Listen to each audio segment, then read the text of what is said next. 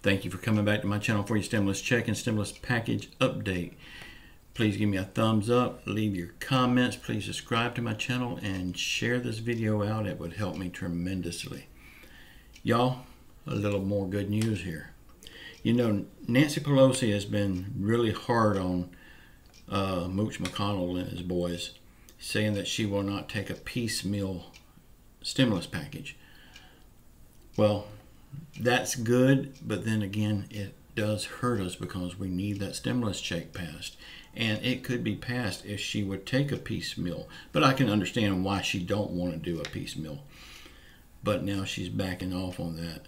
Saturday, the House is going to come back to Washington to vote on just the Postal Service. And if she's going to piecemeal it by doing just the Postal Service, she might as well go ahead and piecemeal the whole thing. Well, she has already said, let's go ahead and pass what we can agree on.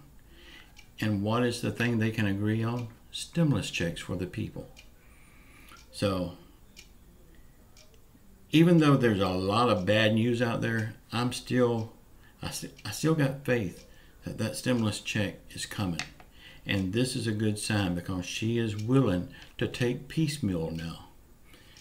That's the thing that was holding it up for the stimulus check because it could have been passed, but she wanted the whole bill at one time because she was afraid that if she passed the stuff that they could agree on, then the other stuff that she wants and the House wants, she would never get because her bargaining power would be gone.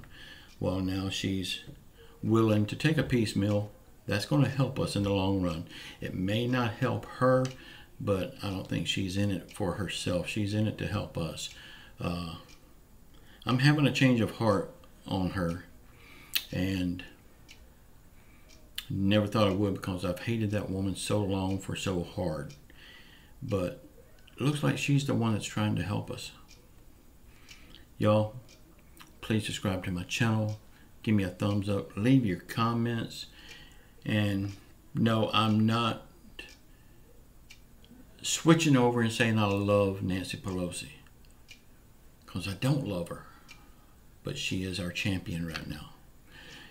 Y'all, please subscribe, leave me a thumbs up, leave your comments, and I don't know if I'll make another one today. We just have to see what's going to happen this afternoon. If something happens, I will make a video, but if not, I will see you tomorrow morning at 6 a.m. And just know, I do love you all. Ciao.